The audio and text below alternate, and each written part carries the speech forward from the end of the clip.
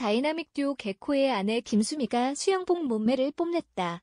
김수미는 25일 자신의 인스타그램에 수영하면서 corn dog랑 샹그리아 먹기 로망 이뤘다라는 글과 함께 사진을 게재했다.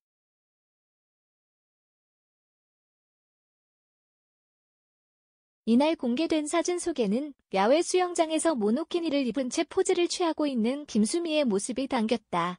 두 아이를 둔 엄마라고는 믿기지 않는 몸매가 김탄을 자아낸다.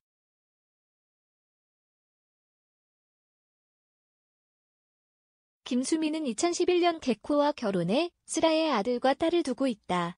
더해 현재 한 화장품 브랜드를 경영하고 있다. 김수미는 최근 개인 유튜브 채널에서 결혼을 2011년도에 했는데 오빠가 나한테 이야기를 안 하고 내 이름으로 적금을 들었더라며 한 달에 100만원씩 10년 동안 모아서 얼마 전에 만기가 됐고 나한테 선물로 줬다며 무려 1억 2천만원이 담긴 통장을 받았다고 고백한 바 있다.